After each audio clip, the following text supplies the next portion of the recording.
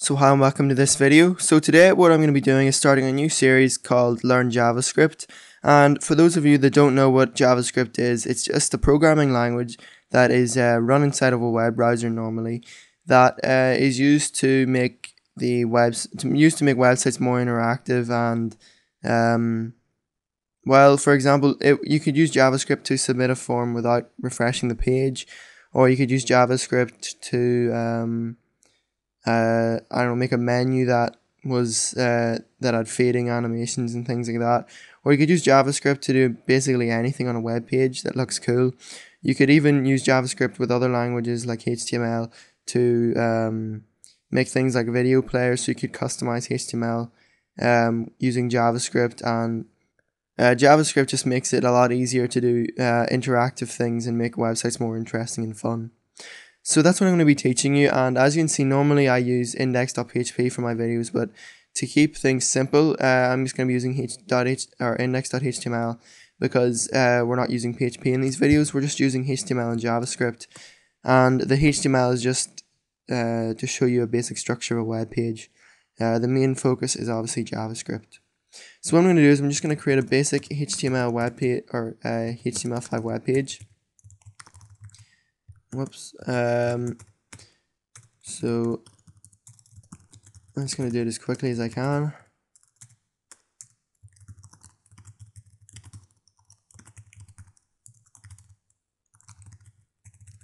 And I'll give it a title as well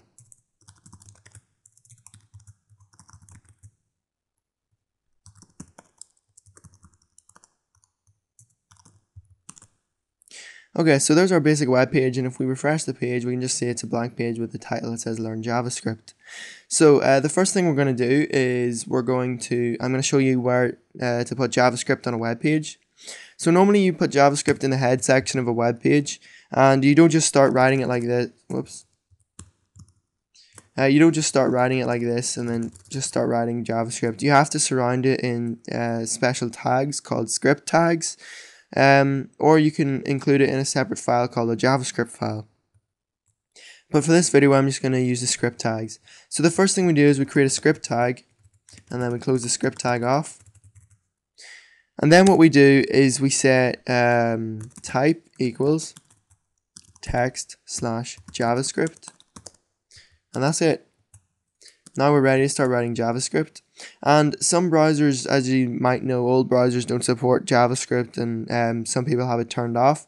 So if you want to um, uh, only want your JavaScript code to uh, turn up whenever the uh, person's JavaScript is on, it's a good idea to do this to surround it um, in HTML comment.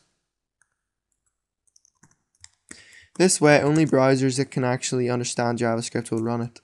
So um, I'm just going to write uh, hello world out to the screen because that's generally what people do when they start learning a new programming language. So in things like Python, you can just write print, uh, whoops, uh, print hello world. Um, and in PHP, you could write that with a semicolon. But in JavaScript, it's a little bit different, and I'm just going to undo these uh, HTML comments just to make it a bit easier to read.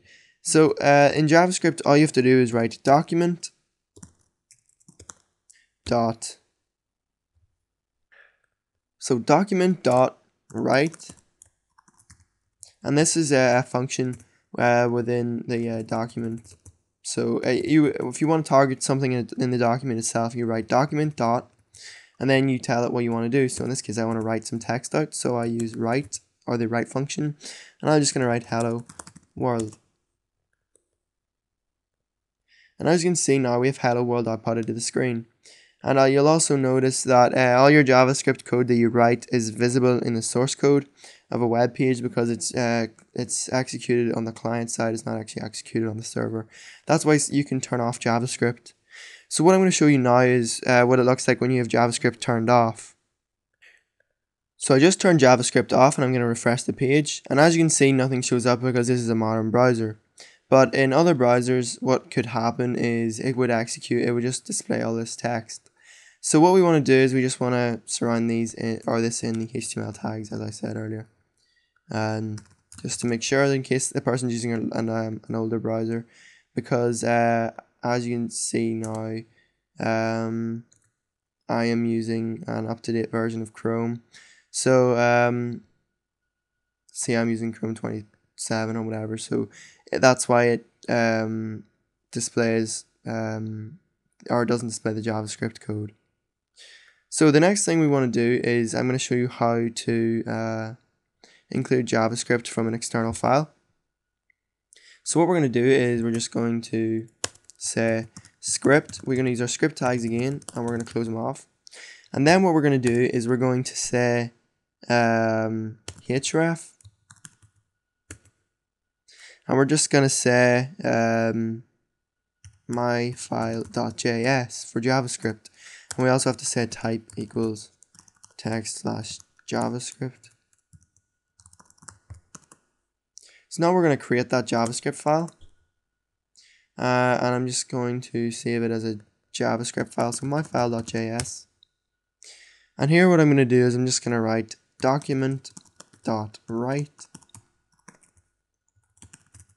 This is some some JavaScript code running from an external file. And now if we refresh the page, whoops. Oh, I forgot to turn JavaScript back on, so I'll do that now. So uh, as you can see now, if I refresh, okay, we have a problem. Um, okay, I need to change that to source. So if we uh, refresh now, we should, whoops, that was from another video. Uh, we should just get actual echoed the JavaScript code is running from an external file. And that's exactly what we put in the external JavaScript file. So what I'm going to do is I'm going to um, just do some simple uh, things with variables. So what we're going to do is we're just going to create a variable called my variable. And the way you create a variable in JavaScript is really simple. You just type the word var, then you give your variable a name, which in my case is my variable. And then I set it equal to what I want it to equal. So I'll just say test. Then if I want to write that variable out, I would just say document.write